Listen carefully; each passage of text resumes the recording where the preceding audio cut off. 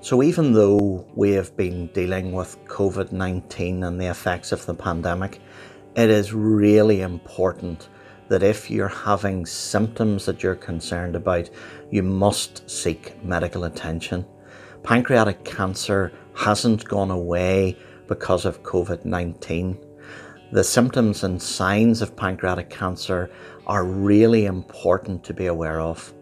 So, first of all, if you notice that you've become jaundiced, that is, yellow colour to the skin, to the eyes, in association with dark urine and pale bowel motions, pale coloured bowel motions, you must seek medical opinion. You must see your GP um, to get this investigated. Other more subtle signs of pancreatic cancer may be unexplained weight loss. You've been not dieting, but have suddenly started to have unexplained weight loss. Pain in the upper back in association with that weight loss is something that should raise um, concerns.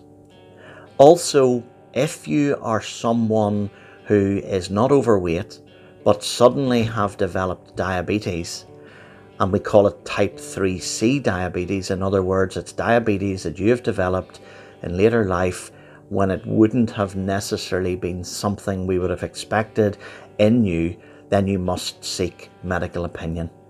So, in summary, if you've been losing weight that you can't explain, if you have had upper indigestion type symptoms in association with that weight loss, or with the development of jaundice, or you've recently been diagnosed with diabetes and you have those symptoms as well, then you must see your GP.